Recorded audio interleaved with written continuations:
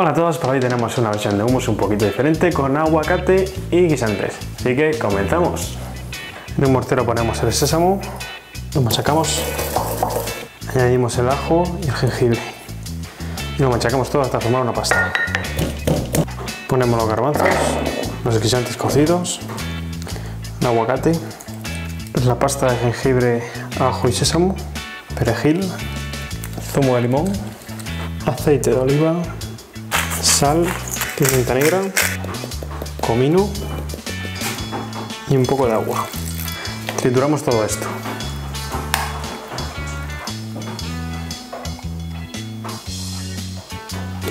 Lo salimos con un poco de pimentón dulce y aceite de oliva. Y a disfrutar.